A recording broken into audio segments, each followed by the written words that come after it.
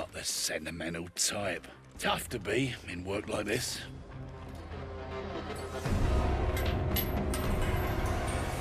But if I was sentimental, it'd be for a gun. Maybe it'd be old, passed down over generations. Maybe my father would have taught me how to hold it.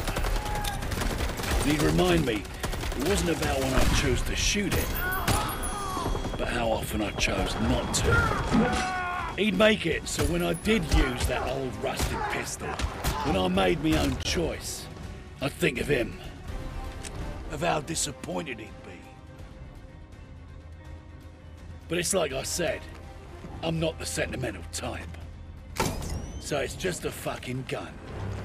And nobody fucking cares. Every gun has its purpose. The right tool for the job.